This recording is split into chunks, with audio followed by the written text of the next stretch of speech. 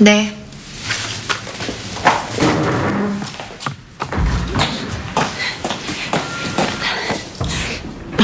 왜 이래?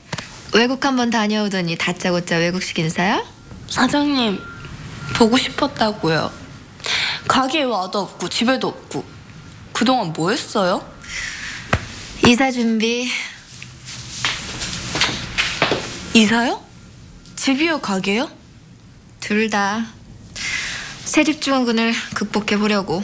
그 뜻 아니라니까요.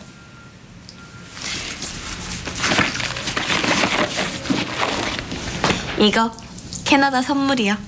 만나면 드리려고 내내 싸들고 다녔어요. 그래서 찾으러 간 건 찾았어? 완전 다요. 전부 다. 말해도 못 믿으실걸요? 찾다 못해 남친까지 찾아온 거 있죠? 무려 쾌백에서요. 운명인 거죠.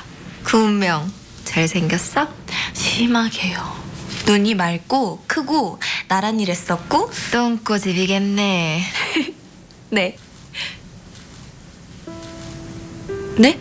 GPD 눈 낮은 거 내가 다 아는데. 뭐, 그 멋진 레스토랑이랑?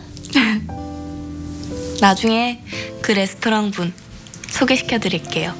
꼭 보여드리고 싶어요, 사장님한테.